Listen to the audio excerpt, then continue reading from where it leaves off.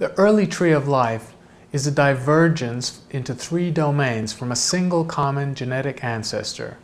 The three domains are bacteria, archaea, and eukarya.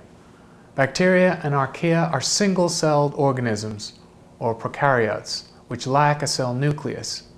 The bacteria include heterotrophs, which use organic carbon as their source of energy, aerobes, which use oxygen as their source of energy, and polytrophs, which get their energy from sunlight. Archaea involve a large number of organisms, simple creatures that can exist in extreme environments, the extremophiles. Eukarya include the single-celled organisms, the families of fungi and protists, and multicelled organisms, the families of plants and animals.